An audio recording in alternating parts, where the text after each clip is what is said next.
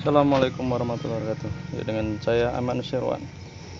Saya akan mencoba eh, mencari tahu dan akhirnya memberitahu.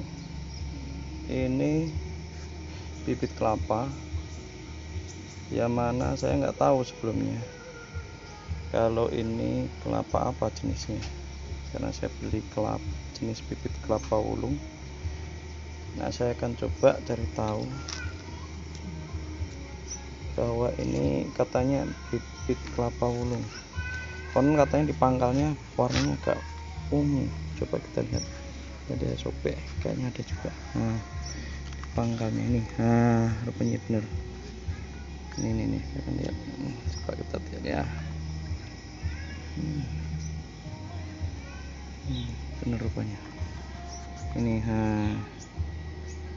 Jadi ada warna agak kemerah-merahan keunguan hmm, ini artinya ini kelapa wulung oke demikian. Terima